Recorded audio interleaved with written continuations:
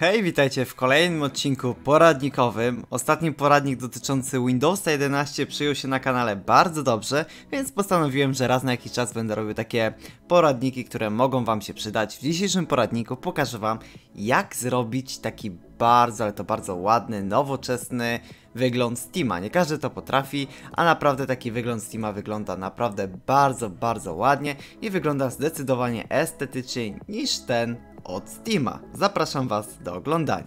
No i zaczynamy od tego, że musimy się udać na stronę metroforsteam.com. No i gdy już będziemy na tej stronie, widzimy takie oto okienko, no i tutaj kilka zakładek. Nas będą interesowały dwie, czyli download i tutaj jakby ten pędzelek. I teraz tak, jeśli chcemy pobrać zwykłą standardową paczkę Metro for Steam, to klikamy download i nam się już jakby pobierze to, co widzieliście u mnie.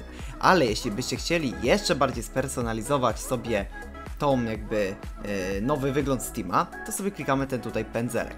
I na przykład jeżeli uwielbiamy kolor różowy, możemy sobie wybrać tutaj e, akcent kolor różowy i klikamy save i możemy sobie pobrać jeszcze jakby taki motyw właśnie dla tego nowego Steama. Ale i tak, jeżeli będziemy chcieli pobrać to, to i tak potrzebujemy tej podstawki, którą pobieramy dokładnie w tym miejscu. Klikamy sobie download, no i sobie pobieramy no i teraz wam pokażę, co trzeba z tym zrobić.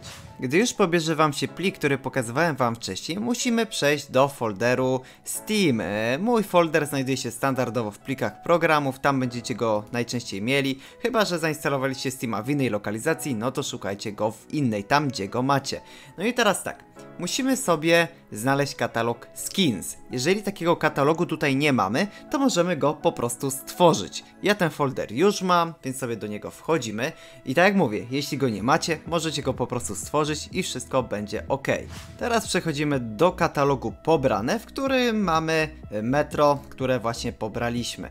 Przenosimy sobie ten folder tutaj i ładnie go wypakowywujemy. No i tutaj już mamy wszystko zrobione, teraz możemy przejść do włączenia Steama. No i Steam już się uruchomił, teraz przechodzimy w Steam, w ustawienia, przechodzimy do zakładki Interface, Mamy tutaj wybierz skórkę, którą ma używać Steam, klikamy Metro for Steam, klikamy OK i klikamy zrestartuj.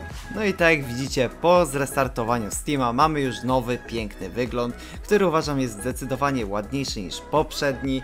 No i pamiętajcie, że jeżeli byście chcieli na przykład właśnie różowe stawki, o których mówiłem wcześniej, to po prostu musicie sobie pobrać tamto, co wam pokazywałem na początku i wrzucić w lokalizację, która wam się na tamtej stronie wyświetli. Ja dziękuję wam za oglądanie, mam nadzieję, że się zobaczymy niedługo w jakimś kolejnym, szybkim lub trochę dłuższym poradniku.